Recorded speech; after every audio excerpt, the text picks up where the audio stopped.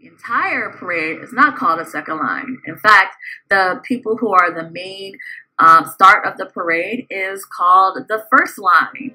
After the first line, you will have a brass band inside of there that's keeping things swinging and moving. And basically, all the people who are standing on the sideline get to watch them perform.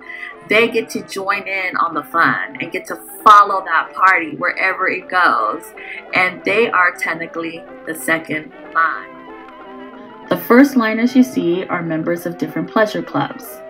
The clubs were made during the Jim Crow era, when segregation kept black communities from getting the help they needed. The pleasure clubs were a way for the neighborhood to come together and support one another, a goal that still lives on today.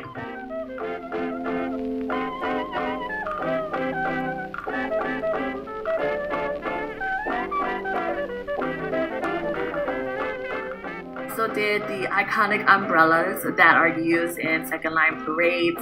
And with our umbrellas, I gave the students creative freedom to choose whatever it is that they wanted to choose for their main picture. And then I asked them to choose one music element to add into their too. After the first line comes the brass band. The brass band is not a traditional marching band. They are made of mostly brass instruments such as the trumpet, trombone, and tuba.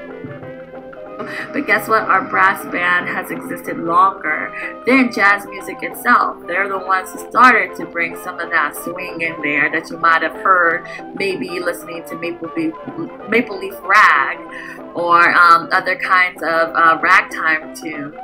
Now that elements of syncopation is getting into a, a band setting. And this is like the footsteps towards moving into an actual jazz band.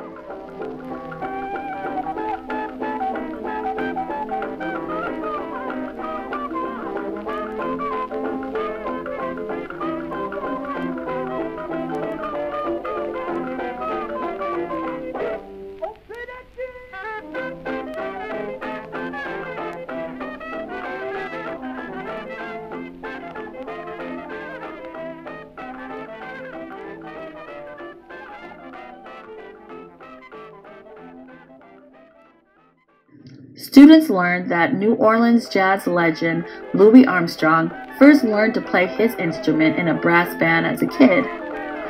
We also learned the famous jazz tune When the Saints Go Marching In.